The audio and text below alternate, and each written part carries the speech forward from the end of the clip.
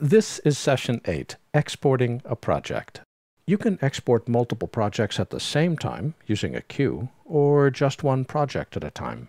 In this session, I'll show you a fast way to export your project to a high-quality master file. Chapter 10 discusses exporting in much more detail. In general, you want to export your project from Premiere Pro at the highest possible quality, then use other software like Adobe Media Encoder or Encore to transcode or convert it into the final format you need for distribution. So let me show you how to export a high-quality master file and select the correct settings for the best quality output. It's done. It's a masterpiece. It's got all singing, all dancing. It's, well, all right, it's got three shots. There's no audio and there's no effects. But, you know, hang with me here. How do we get this incredible project out of Premiere and into that master file that I need to create all the different variations for distribution? It's easy. Make sure that your sequence is selected and we'll go up to File, go down to Export.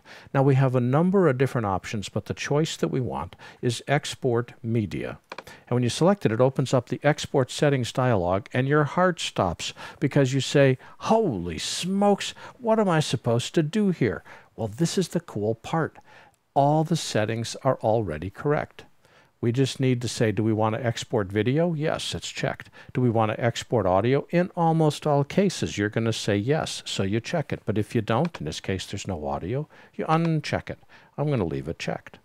It's going to export this to match my sequence settings. So whatever you set the sequence to, that's what the default settings are. In this case, it's exporting DV NTSC and uncompressed audio. By default, the export settings match your sequence settings. And in general, your sequence settings are the highest quality you can get out of your project because that's what all your render files are set for. That's what all your video files are set for. Remember how we matched the video when we first created that sequence? Well, this is where it pays off because now our export settings exactly match it. So we don't have to change a thing. Make sure we want video, make sure we want audio, if we're building a long list of files, we build it to the queue. In this case, I'm just going to click Export. It says, OK, I'm sending it out. What's it called? Right here, output name. It's right there. It says My Second Edit, and it saves the file. It also saves the file in the same folder as your project. So go to your project folder, you'll find the output file, and you're good to go. In Chapter 10, I'll show you how to change the output location and really what all those different export settings mean.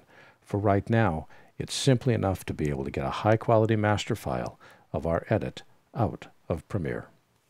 Exporting is the last phase of editing after all the editing, trimming, and effects are complete.